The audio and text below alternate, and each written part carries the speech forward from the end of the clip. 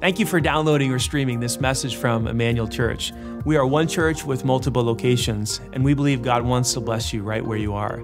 In a few moments, you're going to hear some practical teaching from God's Word that I believe will be inspiring and relevant to your life.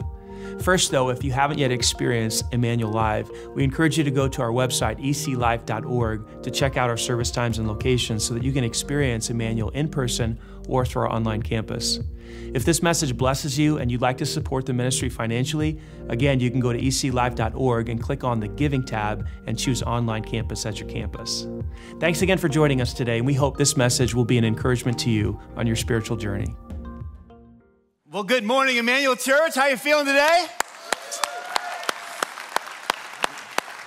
I know I probably say this every week, but it truly is a blessing to be with you here today to provide some encouragement to you, uh, some instruction from the scriptures. I often think to myself, do I really get to do this with my life? What an incredible blessing just to, to be able to share with you, and I don't take that lightly. And so, if this is your first time at any one of our locations, whether you're joining us at Banta or Franklin or Garfield Park, or if you're joining us at our Seymour campus, if you're joining us here at Greenwood or online or one of our microsites, and it's your very first time, we want to give you a very, very warm welcome. Can we give it up for all of our first time guests?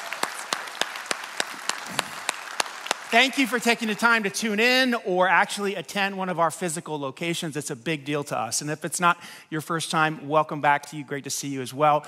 Um, we're actually wrapping up a series today called Good Bones, and it's a relationship series. We typically do that around the time of February because it's Valentine's Day. And sometimes I bring my wife up here with me. Maybe we'll get her up here next year. What do you think? Is that a good idea? Would you like to see Jackie? She always steals the show. You're my fave. Um, but uh, there's only one. I mean, anyway, uh, straight. But uh, anyway, we, so we've been talking about this idea that when someone you know wants to invest in a home or buy a home, they first check to see if the home has you know good bones. We actually stole the title of that, you know, from, from, the, from the TV show here in Indiana, Good Bones, if maybe if some, some of you have seen that. And the idea is that before someone buys a house, invests in a house, they check to see if it's got a good roof or good plumbing or good floors or good, you know, walls or whatever, good foundation. And we said, you know what, the same thing is kind of true in a relationship that uh, before you go too far into a relationship, you should check to see if there's some good bones. And what are the good bones of a relationship? We talked about commitment, week number one. Pastor Aaron Beasley talked about trust. Those are the walls of a relationship. Last week I talked about communication. I had a toilet on the stage. We talked about going number two. No, we didn't do that. We didn't do that. Uh, I mentioned it. But anyway, we talked about plumbing. The idea was that you got to have good plumbing in a house. That's a, that's a good bones. And, and, and what does that look like in the context of a relationship? It looks like communication. And, and so we said, man, a, a, relationship worth investing in has to have good bones. You can add other stuff like paint and carpet and blah, blah, blah, but you need some good bones in that house. And so the same thing is true in relationships. So I want to talk about one more kind of good bones component to a house and also to relationship uh, in relationships and that is the idea of, of having a roof a, a house have, has to have a good roof. In fact, when an investor looks at a house and it doesn't have a good roof, it doesn't have solid decking and, and this, uh, this black paper, whatever it's called, there's a name for it. Somebody told me I forgot it. uh, but you have to have this paper. Then, of course, there's the shingle. When, when, a, when investors looking at a house and, and there's problems with the decking and there's problems with the shingles, that's expensive stuff and it's time consuming. And so, a lot of times, investors will pass on a house that doesn't have a really good roof because there's stuff getting inside that house that shouldn't be in the house. You know, like critters. Anybody have any squirrels or bats in, in their house before because there's holes in the siding or the roof or whatever? That is a big, big problem. Roofs are essential because they keep bad things out like rain and snow and wind and hail and animals, and they actually keep really good things in, like the warmth of the house. Your house is producing heat, it's expensive, and that heat needs to stay in. And so today I want to talk to you about what I think the roof of a good bones relationship is. Keeps the bad things out and the good things in. If you're a note taker today, check it out. A relationship with good bones requires, say it with me, forgiveness. Forgiveness. Here's what's true about life. Ready? It's going to happen. Maybe it hasn't happened to you yet because you're young, but it's going to happen as you get older the people closest to you will end up being the people that hurt you the most. It's just the way it goes. Not all of them. Hopefully, not all your best friends. Hopefully, not your spouse. Hopefully, not, you know, but many times the people closest to us hurt us the most. They lie to us, manipulate us, they say hurtful things to us. Sometimes they physically wound us, sometimes there's sexual abuse going on. It's we live in a broken world where the people closest to us oftentimes do the worst things to us. It's true in your life. I don't know who it is. It could be a husband, it could be a wife, it could be a, a brother or a sister or a cousin, it could be a teammate or a roommate or a coach.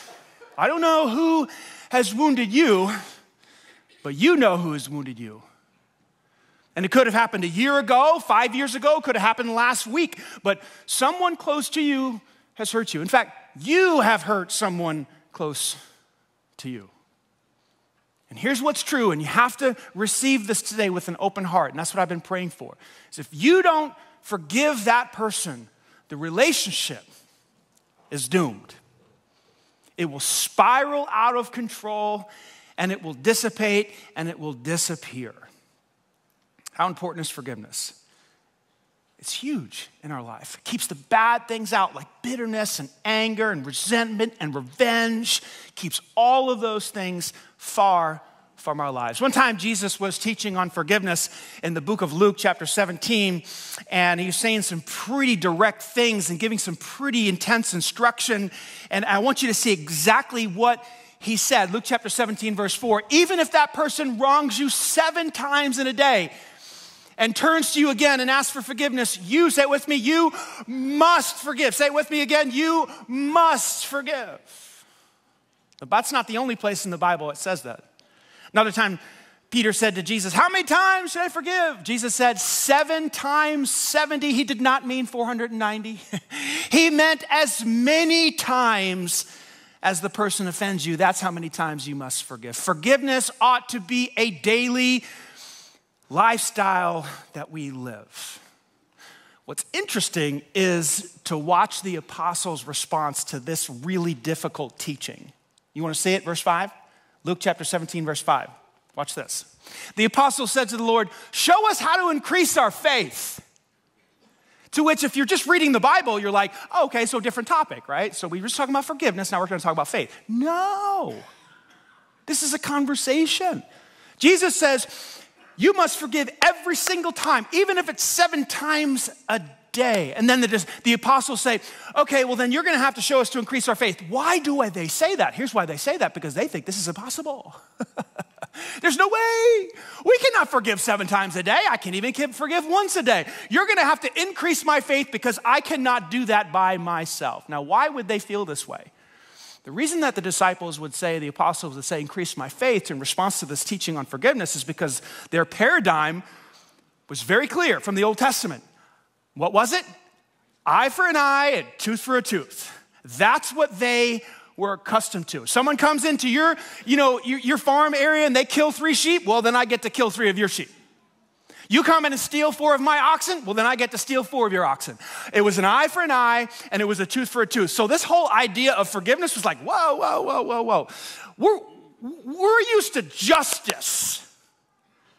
And you want me to forgive? Ah, you're gonna have to increase my faith because I don't think that that's possible. The teaching of Jesus could not fit into their paradigm. And maybe that's true for you today. Maybe you hear the idea of forgiveness or message on forgiveness and you just write it off. Some of you have already written me off, like, well, you know, I can't do that. It's impossible. You don't know what he's done, what she's done. It's too hard, too painful. The betrayal runs too deep. I can't, I can't do that. Maybe even the Bible even teaches that, but I, I cannot do that. And I think one of the main reasons why we struggle to forgive is because we don't understand what forgiveness truly is. A lot of us think that forgiveness is forgetting it.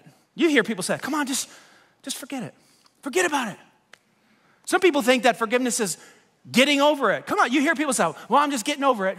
Just get over it. People tell you that advice sometimes. Come on, you got to forgive, get over it. Some people will tell you, come on, you got to forgive, just move on. Just, just, just come on, just move past this. this is, you're getting hung up on this.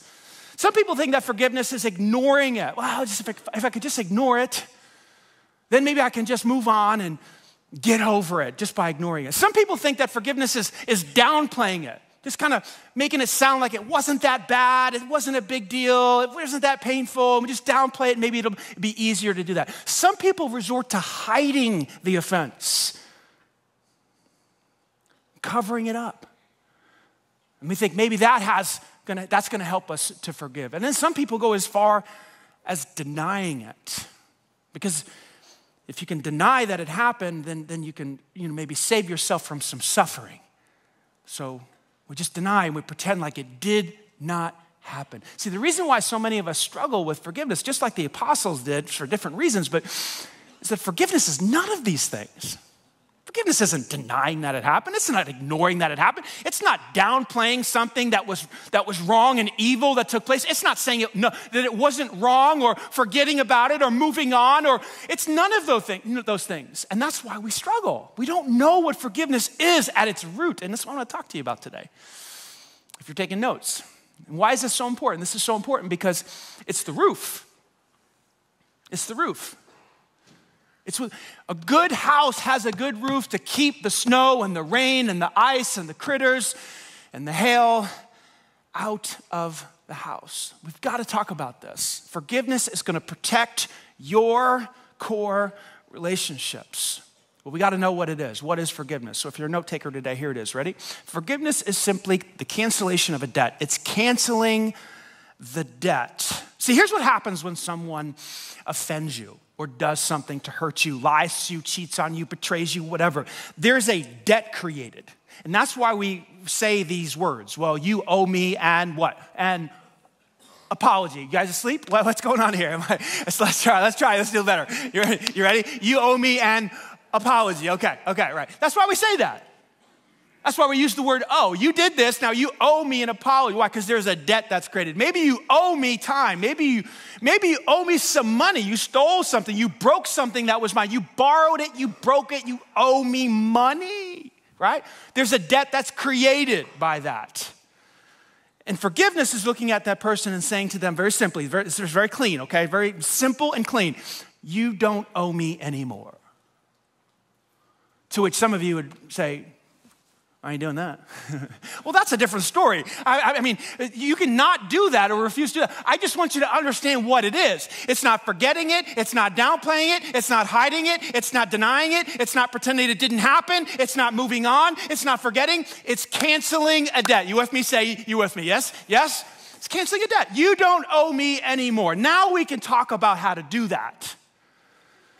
Because Paul actually shows us the way to do that. In Ephesians chapter 4, verse 32, listen to these words Be kind and compassionate to one another. Awesome, awesome, awesome. We all like that. And then he says this forgiving each other. He understands we're going to hurt each other. And the closer you are to somebody, the more you're going to hurt them, right? Because they're all, you're always around them, and you're a sinner and they're a sinner. Anybody with me? Anybody married? and then he tells us exactly how to do it. Just as in Christ God forgave you. Boom.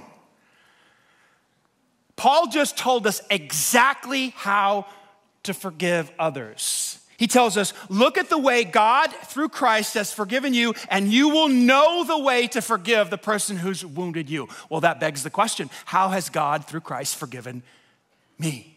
Here's what He's done for me and for you. Our sin created a debt between us and God. Our lies, our deception, our selfishness, our anger, our lust, our pride, it's created a debt. And that debt created this chasm that was basically impossible for us to build a bridge over cross over. So, what does God do? God sends Christ, his son, to this earth to die on a cross to pay the debt, to build the bridge for us to be reconciled. Jesus takes the penalty for you and I by dying for us on the cross. Listen to how Paul explains it. He can explain it better than I can, so we'll just go to his letter in Col- the book of Colossians that he wrote to a group of people in the city of Colossae. Listen to what he says God made you alive with Christ, for he forgave you all of your sins, which is awesome. We just got done singing about that. But what does that look like? God forgave us of all of our sins, Paul tells us. He, say it with me, he canceled the record of charges against us and took it away by nailing it to the cross. Every single lie, every act of selfishness, every act of lust or greed or pride or slander or gossip, every sin you've ever committed if you've been a Christ follower has been canceled. How? God literally put this, that sin on Christ and nailed it to the cross. And then Paul says, in the same way that God, through Christ, has canceled your debt, you cancel the debt of the offenders in your life. Is this making sense? Man, when my brain got a hold of this, when my soul got a hold of this, there, it, it became impossible for me to hold a grudge against anybody. How could I, how could you hold a grudge or be resentful against anybody who's wounded us when God has canceled our record? It's impossible. And so that's why Paul plays it out and spells it out just like he did. Anybody getting this? This good stuff for what? Forgiveness. Forgiveness. We become empowered to forgive others when we truly understand how God has forgiven us. That's the first step. It's canceling a debt in the same way that God, through Christ, has canceled our debt. But it, we got to go further than that because that's good, but we need a little bit more help. And thank God there's more help available to do this.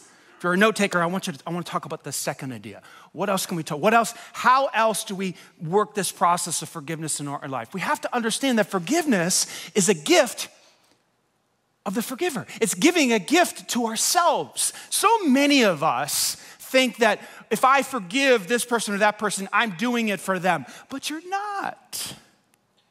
You're not. It always tickles me when, when uh, someone comes up to me, and it happens a lot, because apparently I'm a jerk. I don't know. I try not to be a jerk, but people will walk up to me and say, Hey, Pastor Danny, I just want to let you know, I forgive you.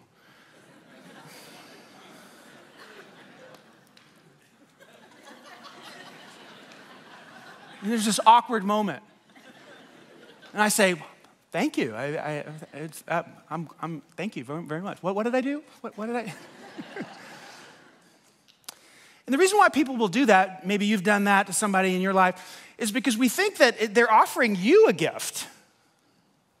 But oftentimes the offender doesn't know what they did, doesn't remember what they did, doesn't care what they did, doesn't think what they did is wrong. Maybe they're denying it. They're even dead sometimes. What do you do with somebody who has hurt you deeply and, they've de- and they're deceased? You can't raise them from the dead to give them the gift of forgiveness. They're dead. What is, what, what, what is forgiveness? Forgiveness is a gift that we give to ourselves. In Matthew chapter 5, Jesus gives I think, one of his hardest teachings in the whole Bible. Maybe there's a couple of harder ones. In fact, maybe one day we'll do a whole series called Difficult Things Jesus Said. that would be a good one, right? This is, I'm about to show you one of the most difficult things Jesus ever said. Matthew chapter 5. And I'm, I'm going to connect the dots for you here in a second. He says, You've heard that it said from our, our, from our ancestors, or our ancestors were told, You must not murder. If you commit murder, you're subject to judgment. Now, none of us would argue with that or, or, or say, you know, uh, that's, a, that's a bad idea. We would all agree with that, right? In fact, th- th- this, this last week I was in the sauna. I've got sauna stories for you today. And, and, and uh, this is a side note, but this one guy was an atheist and he was talking about, you know, separation for, ch- for church and state and how we shouldn't, you know. And I was like, hey, bud, do you ever wonder where the United States of America got the, you know, the laws like do not murder? and I was like, it's in the Bible. so separation church and state, there you go. Um, Anyway, I got more stories from the sauna I can't tell you, but right now. None of us would argue, none of us would argue with, with, with this, right? We're like, yeah, you know, murder's wrong and you're in trouble if you do it. But then Jesus takes it to this, he's always taking things to the next level. It's like here, and then we're gonna go here, right? He does it again. Watch this. But I'm gonna say to you, even when you're angry with someone who screws up the roundabout or makes a terrible call in the basketball game or whatever, right? even when you're angry with someone, you're subject to judgment. In other words, what that means is you're going to be brought before the Sadducees and the Pharisees, and you're going to be put on trial for anger. Then he takes it a step further. If you call someone an idiot,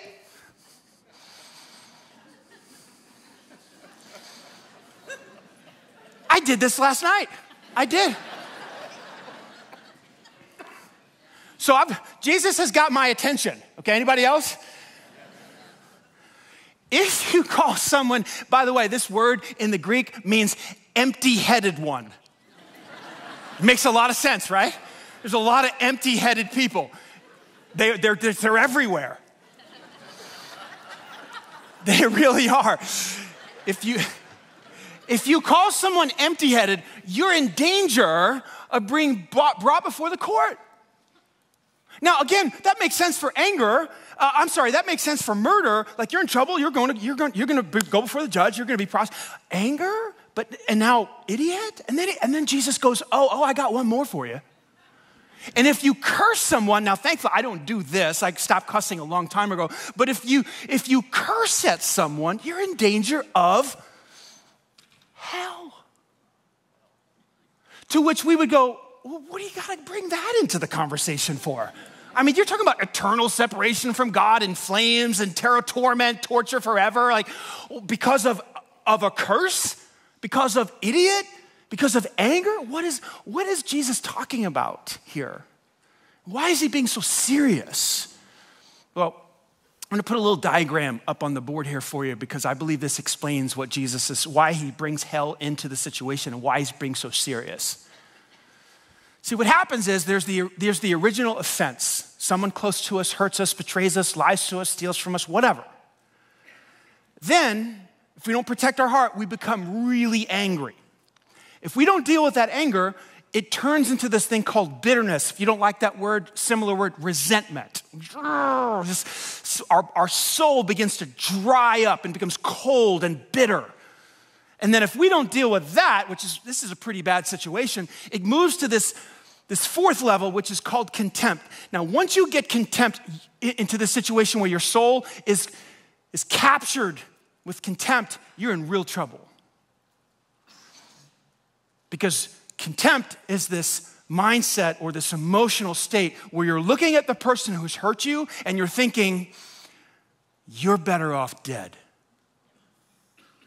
I hate you. I wish you'd get run over by a car. You want to know why Jesus brings hell into the situation and tells us we're going to be brought before the court if we get angry or we call somebody an idiot or we curse at them? It's because if you don't deal with this, this, this cycle in your soul, it's going to ruin your soul. You won't literally be thrown into hell. You won't literally be brought before the court, but your soul's gonna die. And that's the penalty you're gonna face if you don't deal with what's going on. And then once your soul is trapped in contentment, uh, uh, contentment, you move to mistreatment, which can look like verbal abuse, physical abuse. It can look like a gun, a gunshot. It can look like a, a bat over the head, an axe over the. People kill each other. You say, how do people commit murder? You ever ask yourself that question? It's real simple. This is the process. And here's what's crazy a human being can go through this process in about 10 seconds. It could take 10 years. It could also take 10 seconds. And so you and I ought to pay attention and go, whoa. Maybe forgiveness is a big deal. It is a big deal because your soul is at stake. 2018, an off duty police officer gets off a 13 hour shift. She goes to her apartment complex. She walks up the stairs and enters into what she thought, according to her words, was her apartment. She lived on the fourth floor. She opened up a door on the third floor, or maybe it was vice versa. She walked in, and there was a man in that apartment. She said the lights are out. She thought there was an intruder in her apartment. And so she did what police officers do two shots one in the heart, and one missed over the guy's head. Killed him. Maybe you heard this story. Well, she called the police, 911, and they came, and the whole process began. Well, the man who died his brother testified in the court case. And maybe you saw it, maybe you didn't. I want you to see what he said. It's a two minute clip. It's powerful. And I also want, to, I want you to watch what he does. Check out this clip.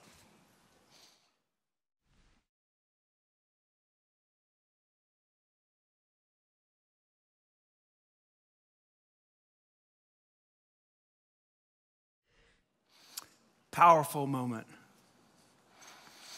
Can you imagine not only forgiving the person who killed your brother, but telling him that you love him and you want what's best for him, and then hugging him? Wow. Later on in an interview, Brandt Jean, that was that man's name who testified, this is what he said I don't want to live the rest of my life saying, I hate you. I wish I could get back at you.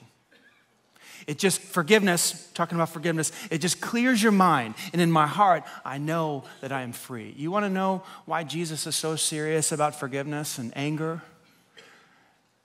It's because he knows if you don't deal with it, if you don't deal with that cycle, it's going to ruin your soul. Some of you right now, you're trapped in anger and bitterness and resentment because you have chosen not to forgive and you're in danger. And I want to encourage you to deal with that today. And in a few moments, you're going to have a chance to do so. Let me give you this third idea and then we'll wrap up. Forgiveness is canceling the debt, it's giving a gift to yourself. And it's, we also have to understand that forgiveness will be withheld from us if we do not forgive. This is not a popular teaching. In fact, I don't hear many preachers talk about it. But Jesus was very clear. In the Sermon on the Mount, this is what he said. This is the, you, the, the, the, prayer in the Sermon on the Mount. You, you guys know the prayer. Some of you memorize it, right? Our Father who art in heaven, hallowed be your name. Your kingdom come, your will be done on earth as it is in heaven. Give us this day our daily bread. And then, verse 12, you know what it says? Forgive us of our sins as we have forgive those who've sinned against us. Have you ever wondered how odd that is? That Jesus would take the time to to teach forgiveness when all his disciples asked for was, Can you teach us to pray? He said, Yeah, I'll teach you to pray, but I'm going to weave some teaching in there about how to live, about how to protect your heart, about how to build a roof over your relationships to protect your life from contentment, from contempt and murder. Think about the prayer with me for a second. It's just really odd. Put yourself in it, right? Jesus, forgive me today as I have forgiven my wife and my friends. It's almost as if you're saying, Jesus, I know that my forgiveness is dependent upon the way I forgive others. Do you feel it? It's odd. In other words, I know I'm supposed to be living a lifestyle of mercy and grace, so if I don't, well, then I know you're not going to forgive me. Exactly. Watch what he says in the next verse. If you forgive those who sin against you, your heavenly Father will, for, will, will forgive you, no problem. But if you say with me, if you say with me, refuse. If you say, I ain't doing it. You don't know how hard it was, deep, painful it was. The betrayal runs so deep. You don't know he, he killed my brother. He did. If you sit and you refuse to forgive those who've hurt you, your heavenly Father will say with me, not forgive you. Have you heard a sermon on this before? Have you read over this and be like, I don't understand what that means, so just move on? Why would Jesus say that my forgiveness between him and I is dependent upon me forgiving others? Maybe it's because when I hold a grudge against you or someone that's hurt me, I'm really demonstrating that I, I, have never fully understood the mercy that I've received from God. Remember, when we fully understand the mercy that we receive from God, the way that He's canceled our debt, we should have no problem forgiving others. He's canceled a list of sins against us that's a mile long, and then we have a brother or sister who's done a couple of things to us and we can't forgive. It's like God says, Well, you don't get it.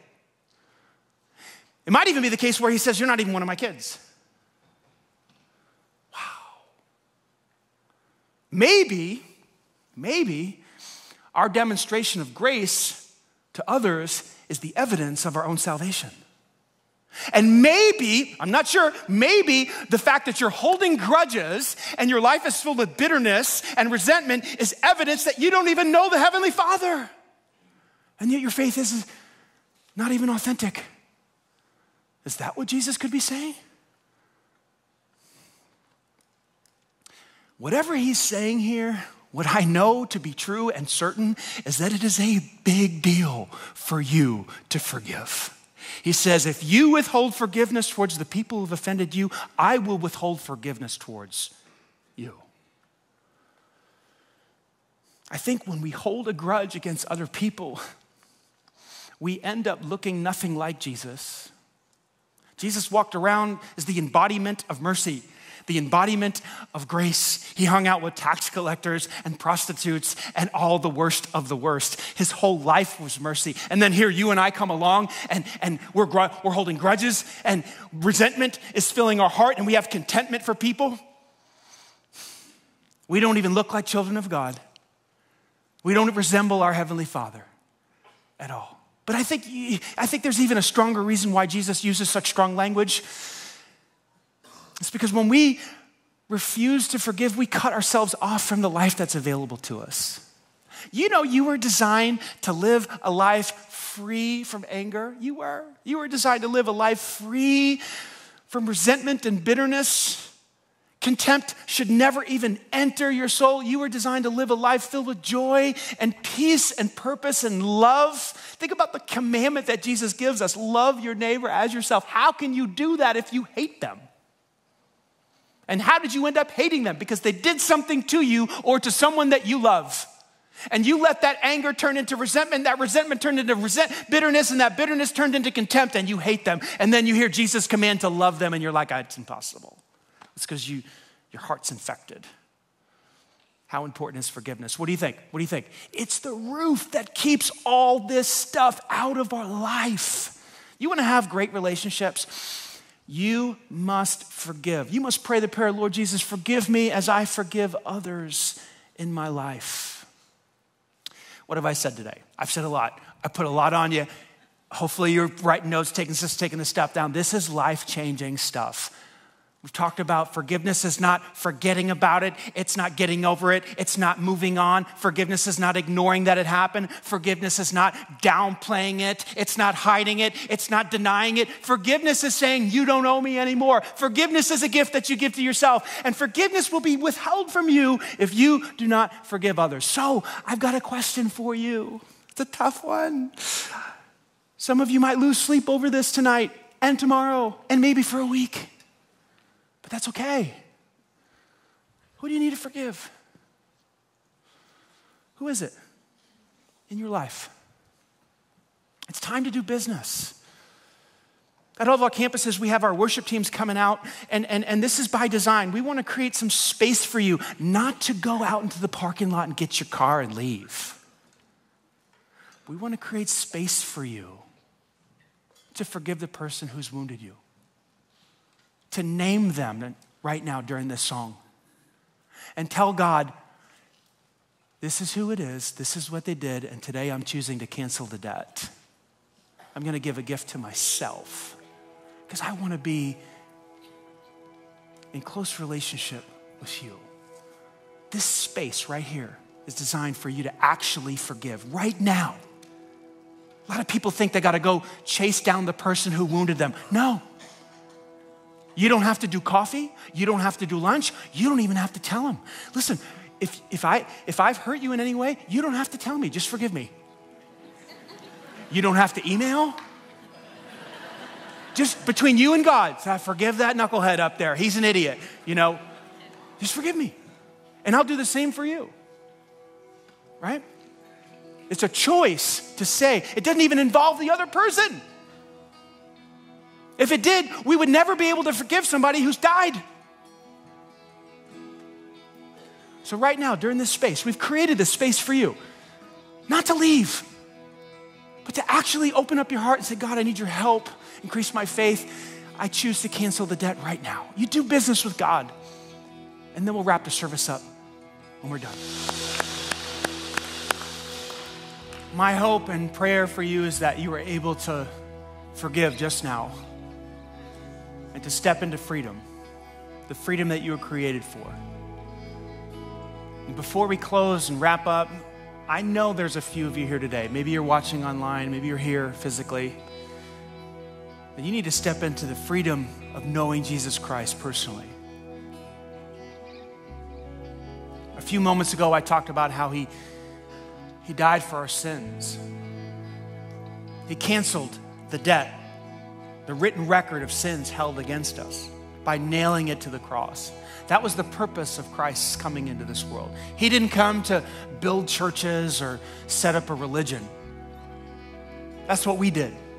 And we do that to get the message out. That's the only thing we do. That's why we do it. That's why we have churches. To get the message out that you can be in a relationship with God because Christ has canceled your debt. Is anybody excited about that? Jesus has died in our place. Maybe the hesitation of why you haven't jumped into Emmanuel or some other church or faith is because you think it's all about buildings and churches and, and religion. And it's not.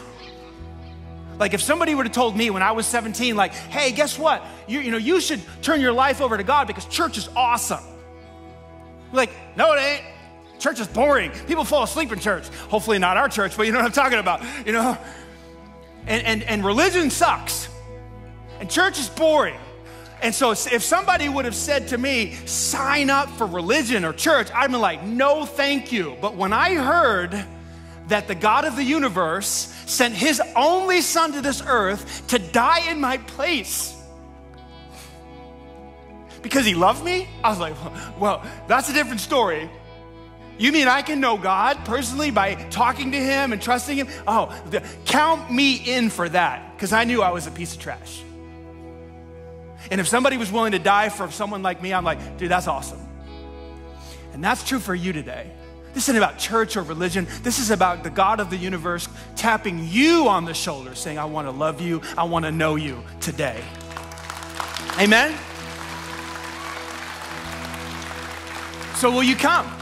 Will you come? Will you put your faith in Christ? All you have to do is, it's a prayer a child can pray. Say, Jesus, I trust you. I believe you died on the cross. You canceled my record of sin held against you, and I ask you to be my Savior. If you'd like to do that right now, I'm going to lead you in a simple prayer. Will you pray with me real quick if you feel led to? Turn your heart over to God. You're not joining a church, you're not joining a religion. You are putting your faith in Christ. Just say this to Him Dear Jesus, I'm a sinner, broken every one of your laws. If not practically in my heart, I have. Would you forgive me? I believe you died in my place, paid the price for my sin, canceled the record of wrongs held against me because you love me. So cleanse my heart today. Make me as white as snow. Make me your child today. I pray this in Jesus' name. Amen. If you just prayed that prayer, our church wants to celebrate with you, don't be Nice and loud, church. Amen. Woo. Hey, before you get out of here, real quick, if you trusted Christ, we would love to get you started with a Bible. We've got a Bible inside this box. We call it our Save Box. There's also a cup in here to say congratulations and some more information about our church. So if you text the word SAVE to 65248, you can grab one of these in the information desk out there. If you're watching online, give us a little bit more info and we'll send one to you in the mail. Let's pray, church, and then we'll hand things off to the local teams. Father, we love you. Thank you so much for the opportunity to talk about relationships and, and the good bones of what a relationship looks like commitment, trust, communication, and forgiveness. Help us to take these things and implement them into our lives so our relationships can be healthy. We love you. It's in Jesus' name we pray. Amen. Right I'm going to hand things off to the local teams. I love you guys. See you next week. Bring a friend.